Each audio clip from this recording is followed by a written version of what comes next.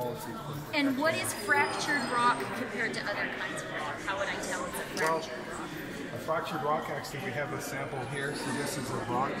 This, this was originally one intact block of rock. And now it's, we actually fractured this in the lab. So fractured, it just means what I think it is, that it's broken.